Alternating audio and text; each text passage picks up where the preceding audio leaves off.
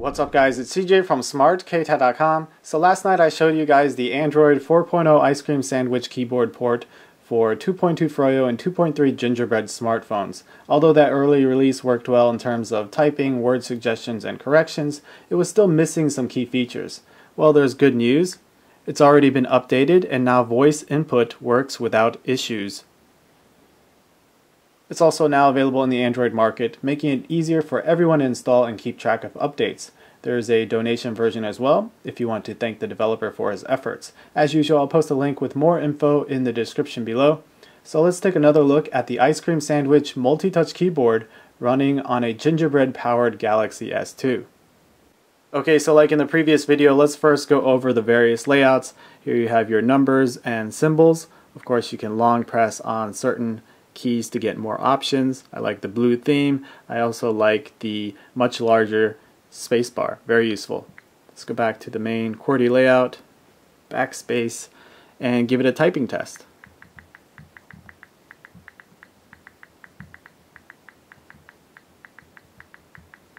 Ice cream sandwich. Alright, so this is a test of the keyboard from Ice Cream Sandwich. As you can see, it works very well. Uh, the suggesting and correcting features definitely have been improved since uh, Gingerbread, so you'll definitely want to check it out if you're a fan of those features.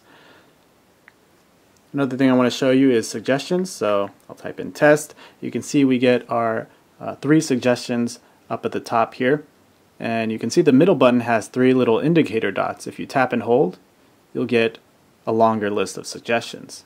So a nice way to uh, hide them until you want to access them. Let's back out of there.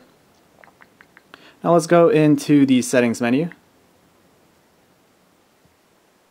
Alright, so let's check out our input languages. Lots of languages, you can see some of them have dictionaries available.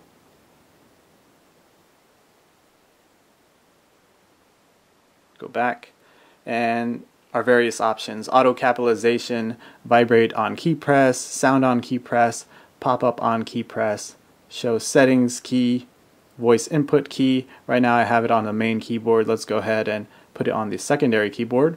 You can also disable it. Auto correction, I have it on aggressive. You can disable it, put it to modest or very aggressive as well. Show correction. Uh, always show, show on portrait mode, always hide. And then you have advanced settings.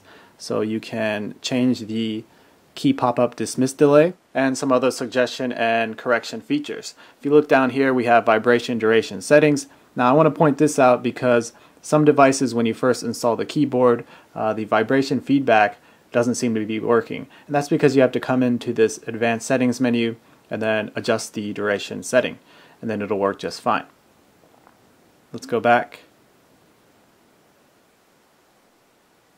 pull up the keyboard again, you can see the voice input button has been moved. Uh, now there's a comma there for easy access to that.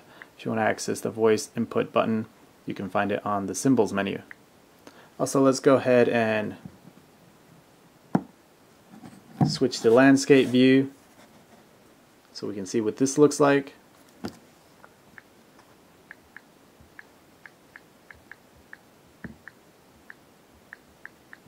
As you can see, it works um, just as well.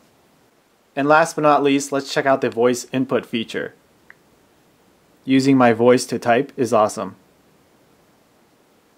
Alright, so it says using my voice to type is awesome. So that works as advertised. So this was a look at the updated ice cream sandwich keyboard port with working voice input as you just saw. If you enjoyed the video, please comment, rate, share, and subscribe.